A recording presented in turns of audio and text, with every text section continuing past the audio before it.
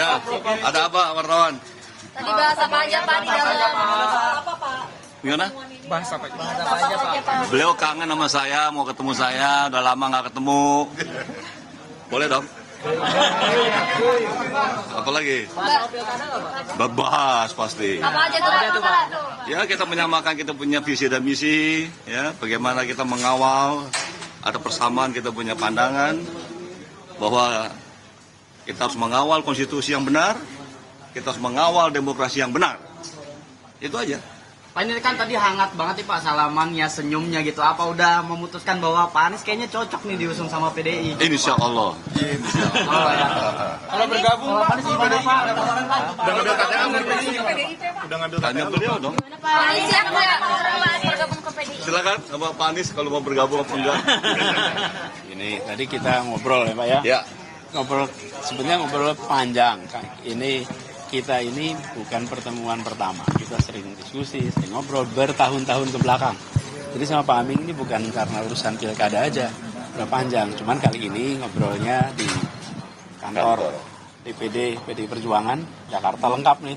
Belakang kita ada Bang Masinton, Bang Putra, Pak Pras mana Pak Pras tadi Pak Pras? Pak Pras jalan. Jadi hal-hal yang menyangkut pilkada tentu kita obrolkan. Tapi eh, kita semua menunggu eh, apa yang menjadi keputusan.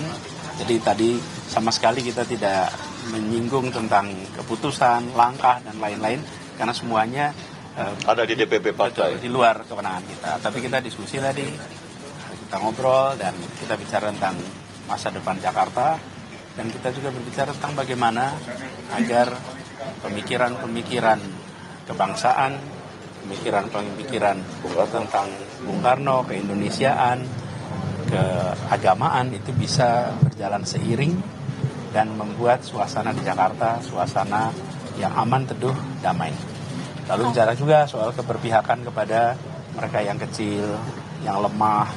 Tadi saya sampaikan prinsip sederhana, membesarkan yang kecil tanpa mengecilkan yang besar. Jadi kita ngobrol seputar itu.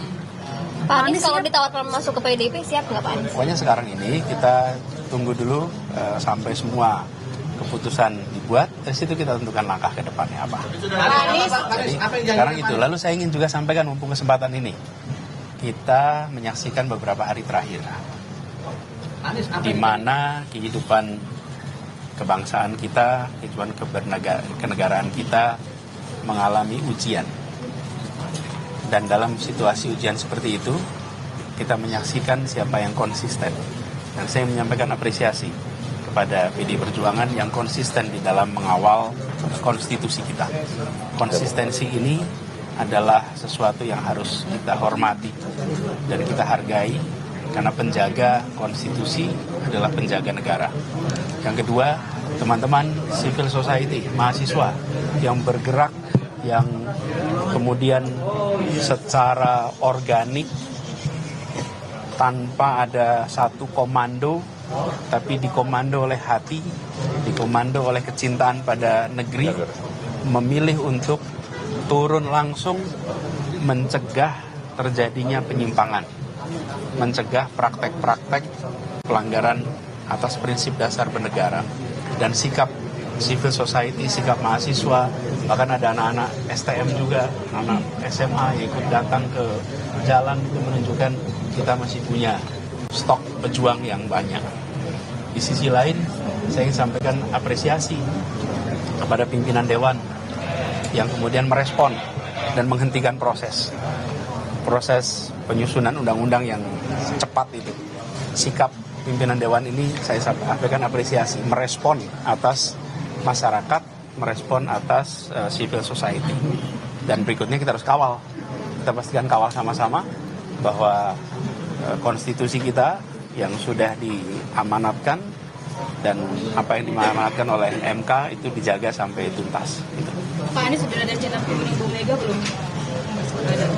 Kita mengalir saja nanti pada waktunya seperti pertemuan hari ini kan juga Tidak direncanakan. direncanakan spontan eh, relax santai nanti kita kabari kalau ada pertemuan-pertemuan Pak Bu Mega kan bilang kalau Pak Anies mau didukung, Pak Anies mau atau enggak nurut sama Bu Mega gitu Pak. Nah Pak Anies melihat itu seperti apa Pak?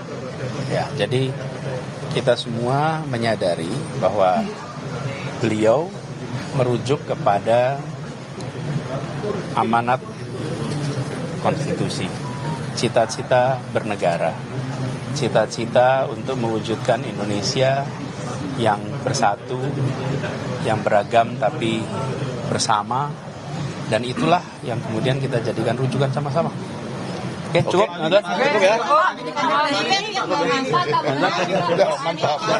Menjadi kader PDIP bagaimana Pak? Oh dia harus tetap menjadi kader PDIP. Ini masih jalan, prosesnya masih jalan. Bagaimana Pak? Tidak menutup tidak Pak? awal dari PDIP untuk kemudian mungkin saya mengusung Apa apa gimana? ini langkah awal uh, dari PDIP untuk mengusung Anies atau bagaimana? Tadi kan sudah jawab. Penekanan lagi Pak. Insya Kalau saya, insya Allah.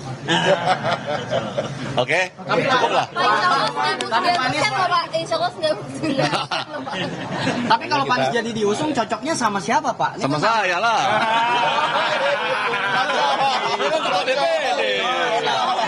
Iya, saya ketua DPD, jatah jatah saya. Benar Pak Mis? Oke, cukup ya. Anis Aming, Asik dan AA. Oke. Terima kasih. Oke. Tuh. Terima kasih. Terima kasih. Saudara demikianlah baru saja kita mendengar konferensi pers dari Gubernur DKI Jakarta 2000